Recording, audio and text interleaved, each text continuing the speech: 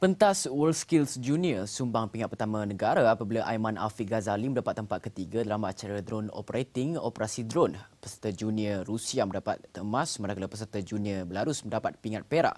Editor Nazri Kahar mendapatkan reaksi Aiman sejurus tamat acara penyampaian pingat bagi WorldSkills Junior 2019 di Kazan Expo malam tadi. Kontingen Malaysia di Kazan ini uh, begitu berbangga pada hari ini kerana dalam kategori junior skills negara mendapat pingat pertama iaitu pertama kali juga negara menghantar wakil dalam kategori ini. Dan pertama kali juga kita mendapat uh, pingat iaitu pingat gangsa. Dan tidak lain tidak bukan saudara uh, Aiman Afiq Suradi yang memasuki acara bidang kemahiran uh, drone operating. Dan bersama saya sekarang ini sebelah saya Tanya Aiman. Uh, adakah Aiman uh, yakin sebenarnya uh, terpilih antara tiga terbaik dalam uh, bidang kemahiran drone operating pada sepanjang tiga hari uh, pertandingan?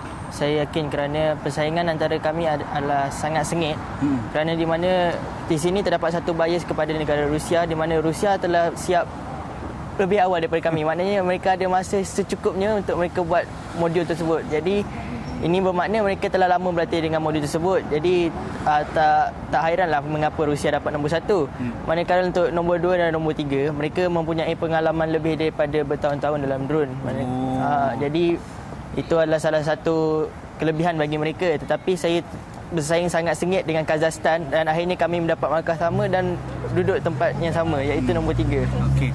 Uh, Aiman semalam apabila ditemu bual kami oleh Israwani Aman rasa agak ataupun gusar juga kerana persembahan hari pertama dan hari kedua ada ada masalah. Jadi boleh bagaimana overcome ataupun menyelesaikan untuk hari terakhir? Untuk saya menyelesaikan masalah tersebut untuk hari terakhir, untuk pertama pertama aja expert saya telah expert saya iaitu Ghazali Yaid telah menasihati saya agar lupakan kisah lama ya. kita buat buku baru. Ya. di mana kita akan cuba berusaha memperbaiki diri kita untuk masa yang akan datang. Selain itu juga saya telah menelpon ibu saya telah mesej ayah saya dan juga cikgu saya cikgu Kamarul Zamli bin Bakar uh, tentang situasi saya di sini. Mereka semua uh, tidak lain tidak bukan mengucapkan tahniah kerana saya telah cuba yang terbaik. Uh, oleh disebabkan itu saya berasa amat bersemangat untuk meneruskan modul seterusnya kerana mereka tidak berasa kecewa. Bahkan mereka uh, merasakan bahawa saya ini sudah melakukan yang terbaik dan saya perlu perbaikikan diri saya lagi. Dari hari kedua, Aiman kata tak boleh menerbangkan drone kerana ujiannya berbeza daripada yang sepatutnya. Boleh jelaskan sikit ketika itu? Um, hari kedua saya boleh terbangkan ya, drone. Ya, yang hari pertama ya?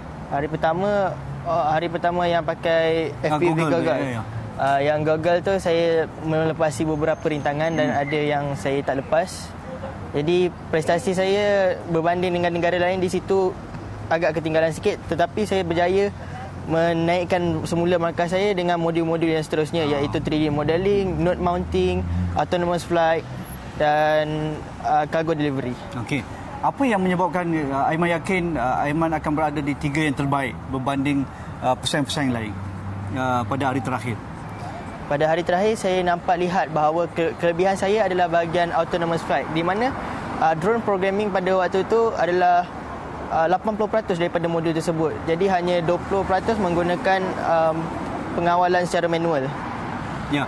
Mungkin uh, kejayaan Aiman ini uh, saya rasa begitu besar kerana dalam bidang uh, junior skills Malaysia menghantar wakil selama lima orang uh, hanya Aiman uh, dapat membawa pulang pingat gangsa mungkin ada apa-apa Aiman ingin katakan kepada uh, kontingen Malaysia, jurulatih, pakar dan juga pihak sekolah dan seluruh rakyat Malaysia yang menawarkan kejayaan Aiman di Kazan kali ini? Uh, pertama sekali saya ingin berterima kasih kepada uh, sekolah saya, pengetua saya Tuan Nan bin Harun, uh, cikgu guru penasihat bestari saya Tuan Kam, Cikgu Kamal Zamri bin Bakar, ibu bapa saya, guru-guru saya, guru-guru saya, rakan-rakan saya, ahli keluarga saya dan semua pihak yang terlibat iaitu pihak MDEC, pihak uh, Timbalan Menteri Komunik- uh, Timbalan Menteri Komunikasi dan Multimedia iaitu YB Edlin Shazi yang berhormat. Uh, seterusnya adalah pihak Selcom dan juga mana-mana pihak yang terlibat pihak BIBG itu saya ucapkan terima kasih dan saya ucapkan terima kasih juga kepada semua rakyat Malaysia yang telah mendoakan saya sepanjang saya berada di sini dan untuk saya beraksi di pertandingan drone operating. Okey, mungkin kejayaan ini bukan titik nokta buat Aiman apa selepas ini dalam bidang drone dan juga dalam bidang pengisian um, ataupun aplikasi uh, drone ini? Apa yang Aiman ingin capai selepas ini? Selepas ini saya saya telah membuat satu hubungan dengan seorang kontingen Rusia yang itu iaitu Melislov yang dapat nombor satu pada uh, pertandingan ini. Hari ini, Uh, dan saya telah meminta dia uh, dia punya contact number. Jadi selepas ini saya boleh berhubung dengan dia tentang autonomous flight. Mungkin selepas ini saya boleh create satu drone yang di mana uh, mempunyai banyak kelebihan kegunaannya untuk uh, Malaysia.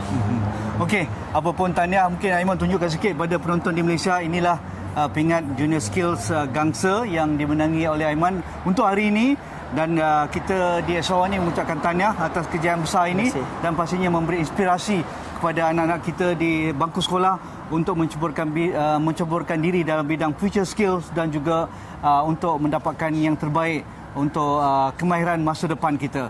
Uh, itu saja laporan saya Nazrika Ha dari Kazan dan jangan lupa untuk mendapatkan keputusan esok uh, kategori belia. Dan inilah yang ditunggu-tunggu oleh rakyat Malaysia. Jadi kita mendoakan yang terbaik ke semua 19 uh, peserta kita dalam uh, acara yang dipertandingkan. Jadi kita uh, terus bersama kami di Esrawani untuk Kazan 2019